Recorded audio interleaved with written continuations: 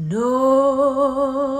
weapon formed against me shall prosper.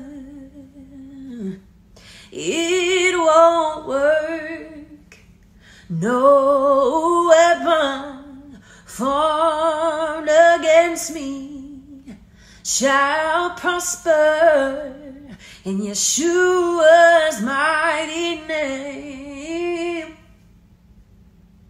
I know God will do what He said He would do.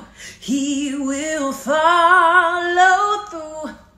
He is faithful and true. He's not a man that he should lie. Thank you,